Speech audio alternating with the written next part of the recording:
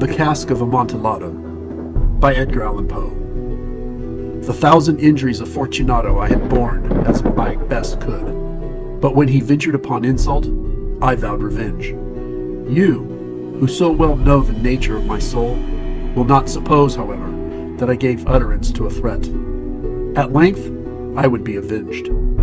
This was a point definitely settled, but the very definitiveness with which it was resolved precluded the idea of risk. I must not only punish, but punish with impunity. A wrong is unredressed when retribution overtakes its redresser. It is equally unredressed when the avenger fails to make himself felt as much to him who has done the wrong. It must be understood that neither by word nor deed had I given Fortunato cause to doubt my goodwill. I continued, as was my wont, to smile in his face, and he did not perceive that my smile now was at the thought of his immolation.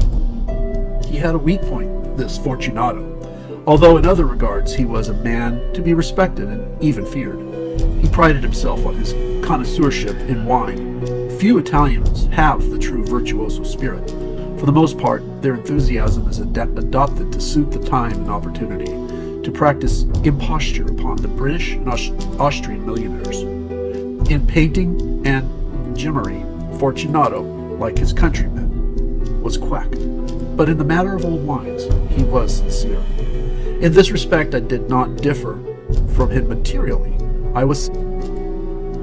It was about dusk, one evening during the supreme madness of the carnival season, that I encountered my friend. He accosted me with excessive warmth, for he had been drinking much.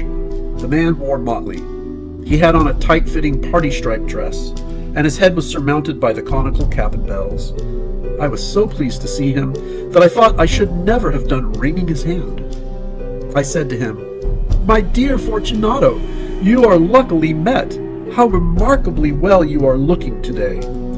But I have received a pipe of what passes for amontillado, and I have my doubts. How? said he. Amontillado? A pipe? Impossible. And in the middle of the carnival? I have my doubts, I replied, and I was silly enough to pay the full Amontillado price without consulting you in the matter. You were not to be found, and I was fearful of losing a bargain. Amontillado? I have my doubts.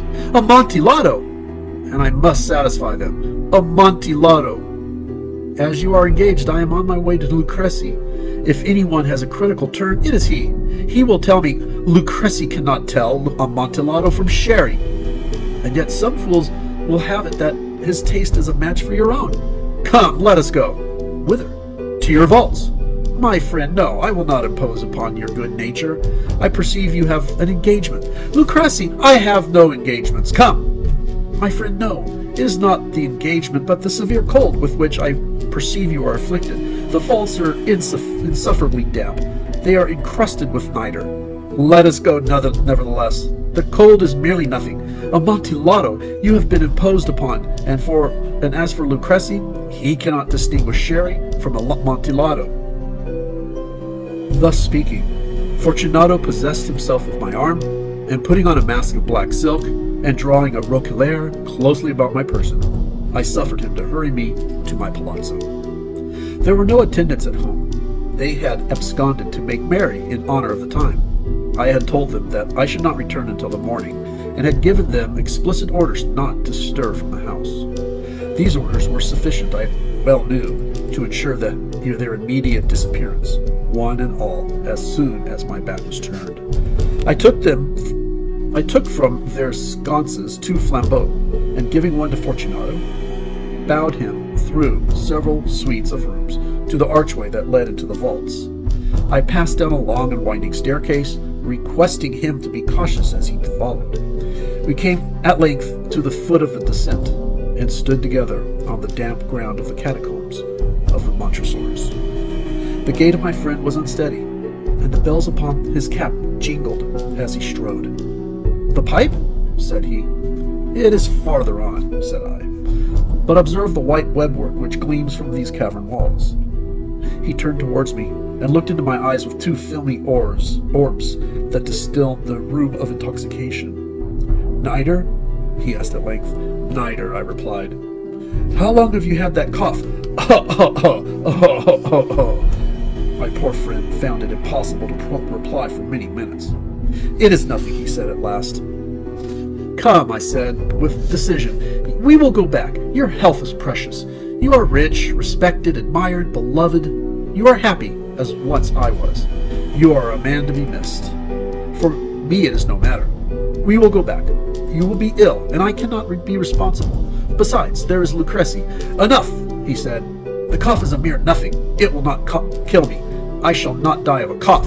True, true, I replied. And indeed, I had no intention of alarming you unnecessarily. But you should use all proper caution. A draught of the, this medoc will defend us from the damps. Here I knocked off the neck of a bottle which I drew from a long row of its fellows that lay upon the mold. Drink, I said, presenting him the wine. He raised it to his lips with a leer. He paused and nodded to me familiarly, and his bells jingled. Was around me. And I to your long life. He again took my arm and we proceeded. These vaults, he said, are extensive. The Montresors, I replied, were a great and numerous family. I forgot your arms. A huge human foot d'or in a field of azure. The foot crushes a serpent rampant whose fangs are embedded in the heel. And the motto? Nemo me impune lacessit. Good, he said. The wind sparkled in his eyes and the bells jingled. My own fancy grew warm with the medoc. We had passed through long walls of piled skeletons, with casks and puncheons intermingling, into the inmost recesses of the catacombs. I paused again, and this time I made bold to seize Fortunato by my arm, above the elbow. The niter, I said, see, it increases. It hangs like moss upon the vaults. We are below the river's bed. The drops of moisture trickle among the bones. Come, we will go back ere it is too late. Your cough. It is nothing, he said. Let us go on. But first, another draught of the medoc. I broke and reached him a flagon of, the, of de Grave. He emptied it at a breath. His eyes flashed with a fierce light. He laughed and threw the bottle upward with a gesticulation I did not understand. I looked at him in surprise. He repeated the movement, a grotesque one. You do not comprehend? He said. Not I, I replied. Then you are not of the Brotherhood. How? You are not of the Masons. Yes, yes, I said. Yes, yes. You? Impossible. A Mason? A Mason, I replied. A sign, he said. A sign. A sign, he said. A sign. It is this, I answered, producing from beneath the folds of uh, my roquelaire a trowel. You jest, he exclaimed, recoiling a few paces. But let us proceed to the Amontillado. Be it so, I said, replacing the tool beneath the cloak, and again offering him, offering him my arm. He leaned upon it heavily. We continued our route in search of the Amontillado. We passed through a range of low arches, descended, passed on, and descending again, arrived at a deep crypt, in which the foulness of the air caused our flambeau rather to glow than flame. At the most remote end of the crypt, there appeared another, less spacious. Its walls had been lined with human remains, piled to the vault overhead, in the fashion of the great catacombs of. Three sides of this interior crypt were still ornamented in this manner. From the fourth, the bones had been thrown down and lay promiscuously upon the earth, forming at one point a mound of some size. Within the wall, those exposed by the displacing of the bones, we perceived a still interior crypt, or recess, in depth about four feet, in width three, in height six or seven. It seemed to have been constructed from no special use within itself, but formed merely the interval between two of the colossal supports of the roof of the catacombs, and was backed by one of the, their circumscribing walls of solid granite. It was in vain that Fortunato, uplifting his dull torch, endeavored to pry into the depth of the recess. Its termination the feeble light did not enable us to see. Proceed, I said. Herein is the Amontillado. As for Lucrece, he is an ignoramus, interrupted my friend, as he stepped unsteadily forward, which I followed immediately at his heels. In an instant, he had reached the extremity of the niche, and finding his progress arrested by the rock, stood stupidly bewildered. A moment more, and I had fettered him to the granite. In its surface were two iron staples, distant from each other about two feet horizontally. From one of these depended a short chain, and from the other a padlock. Throwing the links about his waist, it was but the work of a few seconds to secure it. He was too much astounded to resist. Withdrawing the key, I stepped back from the recess. Pass your hand, I said, over the wall. You cannot help feel the niter. Indeed, it is very damp. Once more, let me implore you to return. No? Then I must positively leave you. But I must first render you all the little attentions in my power. The Amontillado! ejaculated my friend, not yet recovered from his astonishment. True, I replied. The Amontillado. As I said these words, I busied myself from the pile of bones of which I had before spoken. Throwing them aside, I soon uncovered a quantity of building stone and mortar. From these materials, and with the aid of my trowel, I began vigorously to wall up the entrance of the niche. I had scarcely laid the first tier of the masonry when I discovered that the intoxication of Fortunato had in a great measure worn off. The earliest indication I had of this was a low, moaning cry from the depth of the recess. It was not the cry of a drunken man. There was then a long and obstinate silence. I laid the second tier, and the third, and the fourth, and then I heard the furious vibrations of the chain. The noise lasted for several minutes, during which that I might have hearkened to it with the more satisfaction. I ceased my labors and sat down upon the bones. When at last the clanking subsided, I resumed the trowel, and finished with, without interruption the fifth, the sixth, and the seventh tier. The wall was now merely open a level with my with my breast. I, I again paused, and holding the flambeau over the masonwork, threw a little feeble rays upon the figure within. A succession of loud and shrill screams, bursting suddenly from the throat of the chained form, seemed to thrust me violently back. For a brief moment, I hesitated.